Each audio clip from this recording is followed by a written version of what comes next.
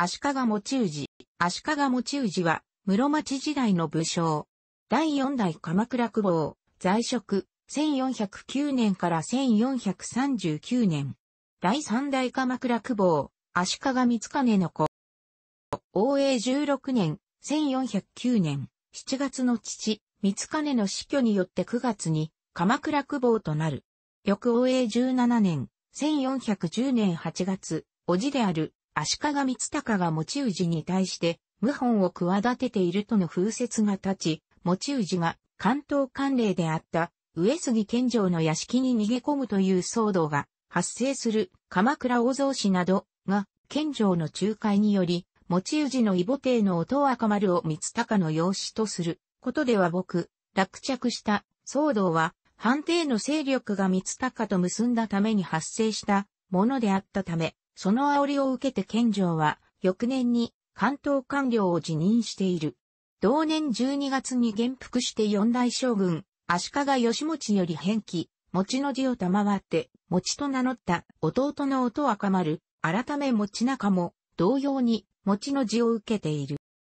持氏は、久保となったものの若年であり、新たに関東官令となった上杉氏則、後の全州の補佐を受けていた。北日本の大内地方は、鎌倉府の管轄で持ち氏の二人の王子である、笹川久保、足利光忠、稲村公足利光忠が治めていたが、応永20年、1413年に、伊達持衆が、両者に逆らい反乱を起こしたため、持ち氏は、欧州黒人衆に召集を呼びかけ反乱を鎮圧した。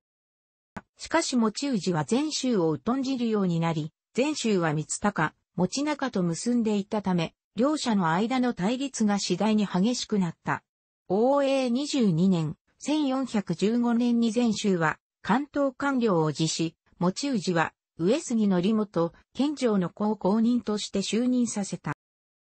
応永23年、1416年、ついに、全州、三鷹はクーデターを起こし、持氏、則本は一時鎌倉を追われて、駿河に追放された上杉全州の乱。しかしこの反乱は、翌年に幕命を受けた、越後の上杉暴法、駿河の今川のリマサラによって鎮圧され、全州、三鷹、持中は自害、持氏らは鎌倉に復帰した。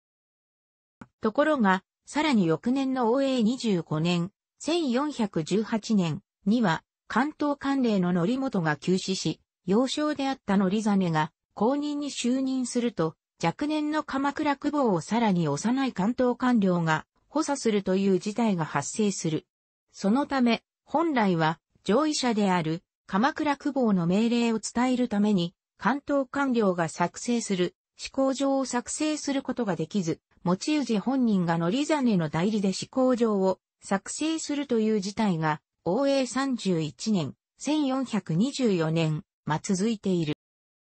京都の将軍と鎌倉久保の対立は、持氏の祖父、足利氏光の時代にすでに始まっていた。この時は、関東官令、上杉則春の監視で対立は未然に防がれたが、関東に支配権を伸ばそうとする将軍と、それに抗する鎌倉久保の衝突は、宿命的なものであった。応永30年、1423年に、京都府知州の小栗光恵が、室町幕府の命令を受けて、反乱を企てたとして、これを攻め滅ぼし、続いて、同じく府知州の宇都宮持綱、桃井信義を倒して、関東から新幕府勢力の一層を追った、小栗光恵の乱、または、応永の乱。これに対して、室町幕府四大将軍、足利義持は、持氏討伐を計画するが、持氏の謝罪によって、討伐は中止された。だが、関東五府地州を用いて、持ち氏の勢力拡大を牽制しようとする、幕府側とそれに対抗しようとする持ち氏の対立は、深刻化する一方であった。応永32年、1425年、五代将軍であった足利義和が病死し、象徴元年、1428年に前将軍であった吉持も病死して、将軍職が空位となると、持氏は自身が足利氏の一族であるという名分から六大将の座を望んだ。しかし、官僚の畠山光家や美保院門後万歳らの協議によって六代将軍は吉持の弟4人のうちからくじ引きで選ばれることになり、この結果、天台座杉園が現続して、足利義則として将軍職を継承することとなった。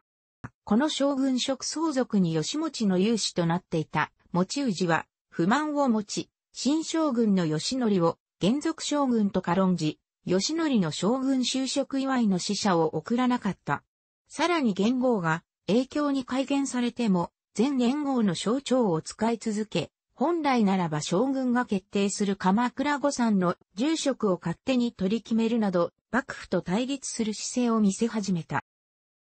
関東官令、上杉則実は、持氏と義則の融和を懸命に努めたが、持氏はこれに応じずに逆に、則実を遠ざけ、上杉氏所流の上杉貞直や一式正し剣、柳田光助ら謹慎を重用し、やがてのリザネは持ち氏に撃たれるという噂が流れるまでになる。永享9年、1437年にはのりざねは、思考上の発揮を止め、間もなく関東官僚を辞職している。なお、これ以降関東官令の思考上の発揮は途絶する。一方、幕府においても、吉則とたびたび対立していた芝義康が影響を4年、1432年に官僚を辞し、また融和派であった畠山光家が、翌影響5年、1433年に万歳が影響7年、1435年に没すると吉則を止めることのできる人間は存在しなくなった。影響10年、1438年6月、持ち氏の着手剣王丸が元服を迎えて、なお改める際、本来ならば、将軍に一時を配慮する慣例であったが、それを行わず、義久と名付けた。なお、吉川番館では、元服式はわざわざ、元義家の洗礼を調べて行われたもので、則実は、この命名に反対したが無視されたとする。持氏は義久を、源義家に義して、八幡太郎の通称を称させて、鶴岡八幡宮にて元服の式を挙げた。則実は、この元服式に出席せず、則実と持氏の対立は、決定的となった。8月、則実は、鎌倉を去り、両国の上の国へ下った。これを則実の反逆と見た持氏は、一式正し権に命じて、討伐軍を差し向け、自らも、武蔵国府中高安寺に出陣する。将軍、吉則は、則実の救援のため、笹川久保、足利光忠、上杉全州の乱後持氏と対立やするが守護、今川則忠の出兵を命じた。さらに、全州の子、上杉持房、則友らを含む幕府軍を派遣する。同時に、持氏追悼の千罰臨時の発給を求め、持氏は朝敵となった。9月27日には、持氏軍は敗れて相模の海老名まで引いたが、鎌倉を守護していた三浦と北か東部省の裏切りが相次いだために兵は逃亡し、持氏は孤立無縁となった。持氏は鎌倉に引く途中でのリザネの火災、長尾忠政、薫伝、長尾忠綱のことであい、乗り実に吉則との折衝を依頼する。その後鎌倉正明寺で出家し、永安寺に幽閉された。乗り実は、持ち氏の除名と義久の久保就任を懇願したが、義則は許さず、乗り実に持ち氏の追悼を命じた。永享11年、1439年2月10日、乗り実の兵が永安寺を攻撃、持ち氏は自害して果てた、永享の乱。義久と稲村久保、足利光貞も自害した。持ち氏の自害により、鎌倉久保は一旦滅亡することになるが、彼の維持である春王丸、安王丸を担いだ、結城氏とも、持ち友不死が放棄し、関東の混乱は続いた、結城合戦。この反乱も幕府に鎮圧され結城氏友不死は自害、春王丸、安王丸は幕府に捕らえられ処刑されたが、後に、春王丸らの兄弟で生き残っていた重氏が、鎌倉に帰還、鎌倉久保に就任するも、上杉氏と対立、京徳の乱を引き起こし北関東へ逃れ、古学坊を称することになる。日付イコール旧暦、楽しくご覧になりましたら、購読と良いです。クリックしてください。